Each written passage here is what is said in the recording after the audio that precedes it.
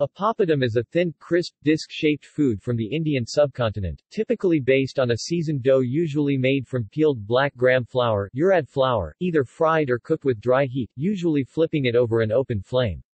Flours made from other sources such as lentils, chickpeas, rice, tapioca, or potato can be used.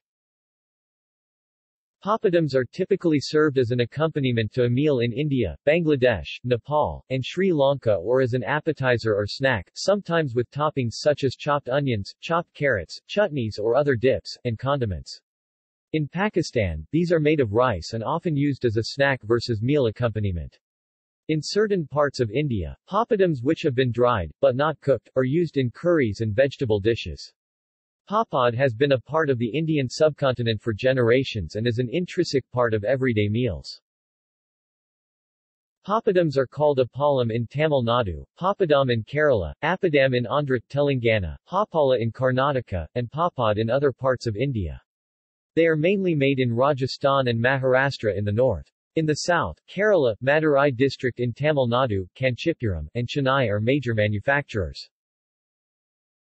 Etymology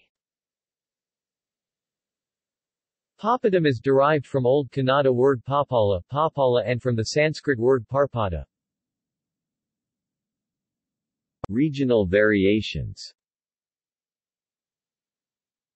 Papadum recipes vary from region to region and from family to family. They are typically made from flour or paste derived from either lentils, chickpeas, black gram, rice, or potato.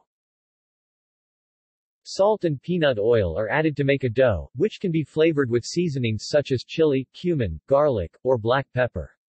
Sometimes, baking soda or slaked lime is also added. The dough is shaped into a thin, round flatbread and then dried traditionally in the sun, and can be cooked by deep frying, roasting over an open flame, toasting, or microwaving, depending on the desired texture. Bikaner is the hub of chickpea and green gram papadum manufacturing. Potato papadum is made in Varanasi.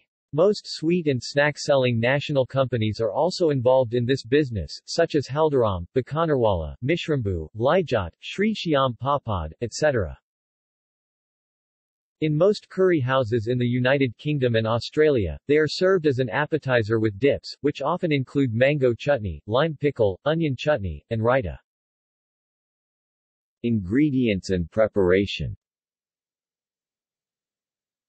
Papadum can be prepared from different ingredients and methods. Arguably, the most popular recipe uses flour ground from hulled split black gram mixed with black pepper, salt, and a small amount of vegetable oil and a food-grade alkali, and the mixture is kneaded. A well-kneaded dough is then flattened into very thin rounds and then dried and stored for later preparation and consumption. It may also contain rice, jackfruit, sabudana, etc., as main ingredients. Cracked black pepper, red chili powder, asafoetida, or cumin or sesame seeds are often used as flavoring agents. Business Papadum is often associated with the empowerment of women in India. Many individual and organized businesses run by women produce papad, pickles, and other snacks. This provides them regular income from minimal financial investments. Sri Mahila Griha Udyog Lijjat Papad is an organization owned and run solely by women which produces large quantities of papadums on the open market, which started as a small business in the late 1950s, with an annual income in 2005 of about 650 crore rupees $91 million. However, with the recent growth of modern trade in India and the growing consumer awareness, other brands have been gaining in popularity within this category. Key manufacturers in India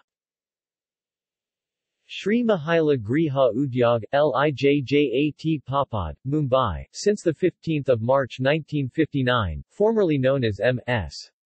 Dinraj Banwarlal Jain, currently known as M.S. Dinraj Banwarlal Global Foods LLP, Parag Papad, Indore, since 15 October 1959. Gallery See also. List of Indian breads. Sandwich. References. External links. Media related to papadums at Wikimedia Commons